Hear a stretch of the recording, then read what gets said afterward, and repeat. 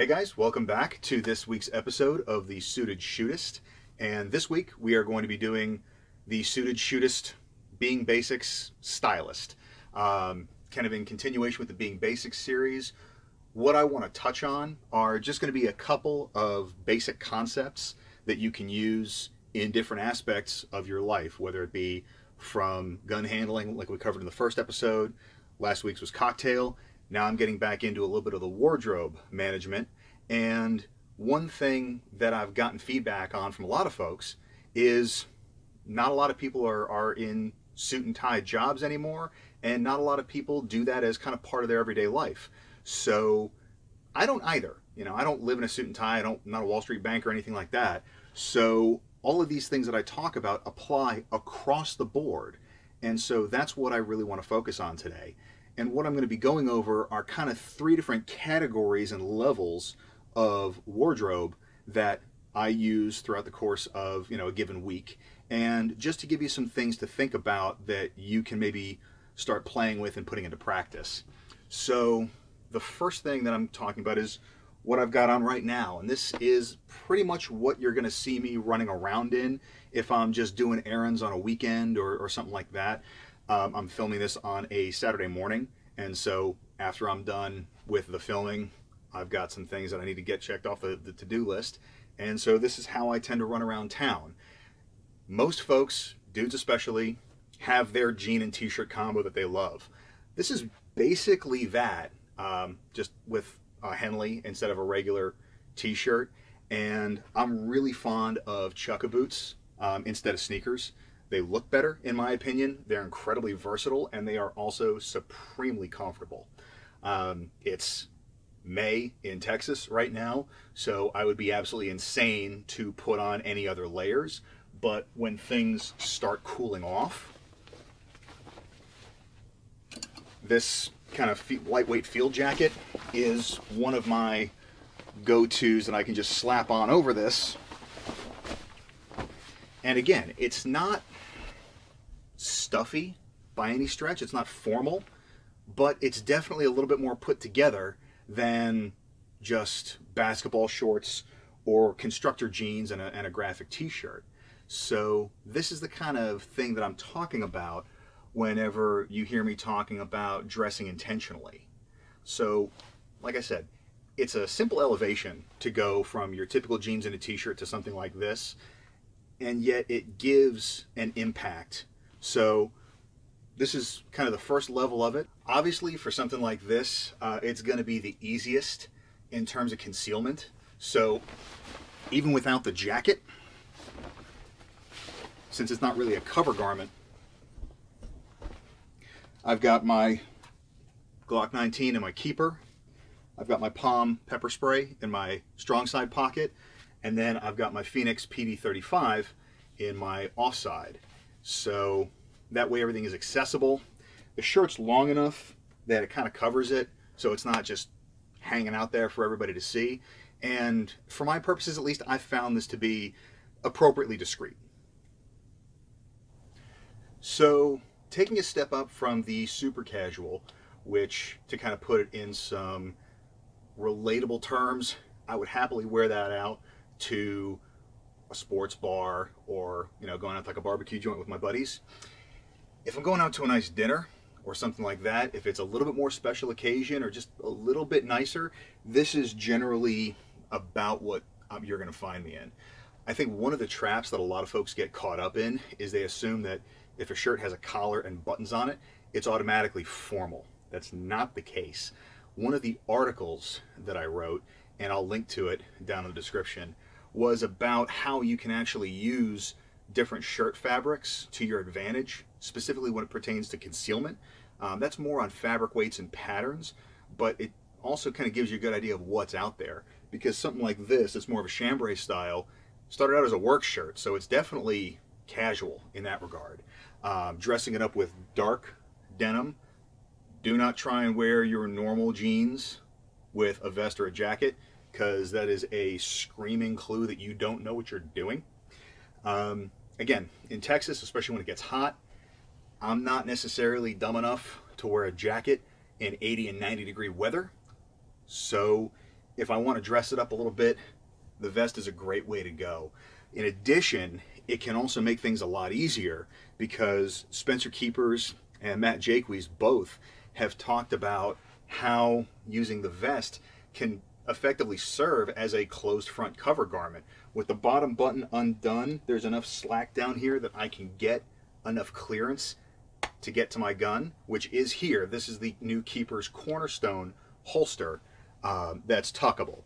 It's kind of a pain in the ass to set up, so I'll show it to you here before I switch uh, switch outfits again. But um, I don't want to untuck it and then watch you have me pack it all back in. If I do want to wear a jacket, I personally don't like doing the odd vest and jacket combo. There's some folks out there that it works for. It's not my style personally, but um, something to play around with and see if you like it, especially for where I am in the country. It really just doesn't make sense because uh, it's it's not cold enough most of the time to justify those kinds of layers. But uh, a sport coat is another nice way to go. I'm also one of these weird people that even though I have kind of a watch fetish. I hate having things around my wrists. So unless I'm wearing a jacket, I almost always roll my sleeves. Now, this is where things can get interesting, uh, and I'm going to touch a little more in depth on a later video about how all this stuff is supposed to work together. But sleeve length on your shirt and on your jacket need to work together in order for it to fit properly. So if I wasn't wearing the vest, this is probably about what I would go with. So again, this is definitely more of kind of a spring summer look. And without the vest, I can still have my same basic holster setup with the Keeper's Cornerstone. It's got the different uh, struts on it, so it allows you to tuck the shirt in over it. One thing that I've found useful is when you are trying to pack this all in, this shirt tail, once you get it behind the struts, unzip your fly and actually pull it down into the struts that way, it makes things a little bit easier. Um, other than that, the pepper spray stays the same. Sometimes I will downsize the light a little bit uh, for a couple of different reasons. Number one, the chances of me needing it in this type of circumstance drops a little bit. And also this particular ThruNite, because the pocket clip configuration rides deeper in my pocket than that Fenix does. And so it's just a little bit more discreet and it's not going to draw attention. So this is kind of my smart casual. It's still denim, so you're only going to get so dressy whenever you're working with jeans. I swapped out the boots for a pair of brown lace-ups. One thing, again, for you to play with, a little bit of a pro tip that I like, if the laces are hanging out, tuck them in. Because if they're hanging out like rabbit ears, it can just kind of jack with the look. Not a huge thing, but it's those little details that you can play with, just kind of bump it up to that next level of expertise.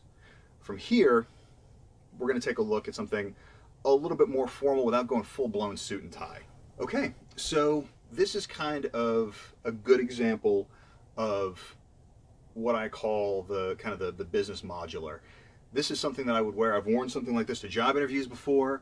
Um, if my wife and I are going out to a show, something to that effect. Um, again, special occasion. This is if you want to get dressed up, but without going full-blown suit and tie, or you just want something in your closet that's going to give you more flexibility than just a suit and tie, something like this is a good way to go.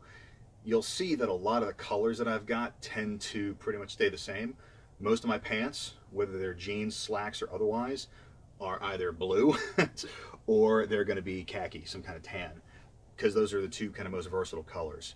With something like this, it's going to be slacks and a sport coat.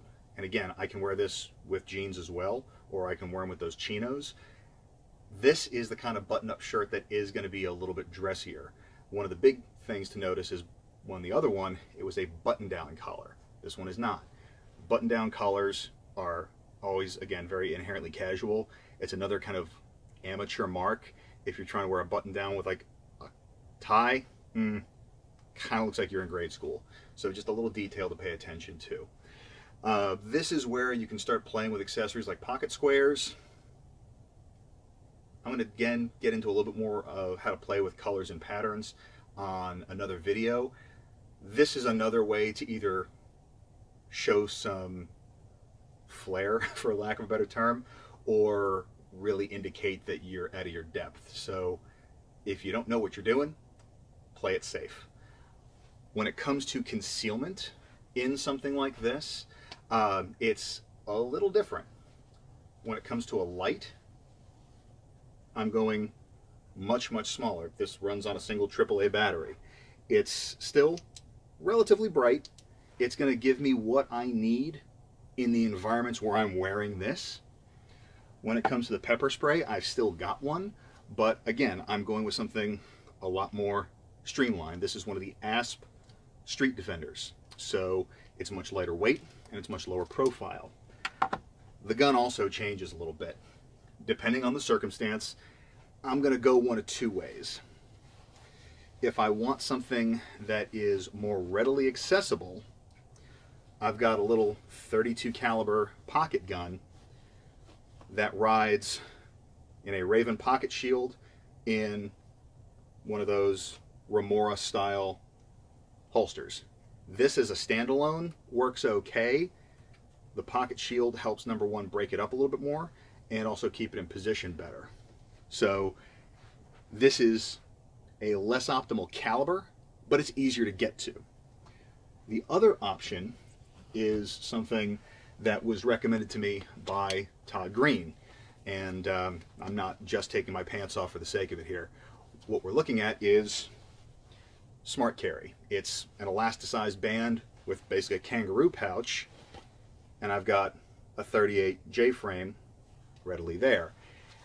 You can get at it with some practice without having to undo your pants, provided that they're not too snug. It is something that uh, takes a little bit of time to get used to, but since these trousers fit properly, I can get that distance and get this out. So this is one of those circumstances where mission is going to drive the gear. One thing that I like, and you see me wear throughout the entire video, are these slide belts. This is the same belt that I was wearing in the previous getup, just with a different buckle. Again, to make it a little bit dressier. Um, I've done a write-up on the slide belts that I'm going to link to as well. For a non-dedicated gun belt, they seem to work pretty well for me. I know there's a couple different brands out there. I've only had experience with two, them and Kore Essentials that I was less than impressed with. Um, but again, the reason why I'm able to get away with using a regular belt as opposed to a dedicated gun belt is because the pants fit properly enough that it's holding everything against my body to where this is just kind of almost a secondary layer of retention and positioning. So the main point on all of this is not to focus on what I'm wearing because my build, my skin type, my complexion is going to be different than yours. This is again just to give you kind of a template to play with and see what really suits your needs best because once you get the basic tenets down of on the casual side still going with effectively jeans and a t-shirt just playing with different t-shirt alternatives and making sure that the jeans fit right. On the casual side, the smart casual, start introducing some collared shirts that uh, are maybe something other than just the, the, the typical polo and seeing what else you can add to it to just bump it up a notch. And then on the dress side, something that is not going to be as formal as your typical suit and tie, play with some color combinations, see if there's some patterns out there that you like, because once you get a hold of stuff like this and you really start understanding it, it becomes so versatile that it really doesn't require a lot of thought. And that's the idea, is there's enough other supremely important stuff in life that we have to spend a lot of time and effort thinking about that once you get this template down, it's plug and play. You can go in the closet, grab a couple things that you know work together, and it's done. You're not having to sit there and, and kind of anguish over it, or on the other side, not care at all, and then kind of just go about looking like you don't care. So hopefully you found this useful. And if there's any questions, particularly on how I balance the wardrobe and the gear, please leave them down in the comments below. I'll include the blog articles that I mentioned as well, and I'll catch you guys next week.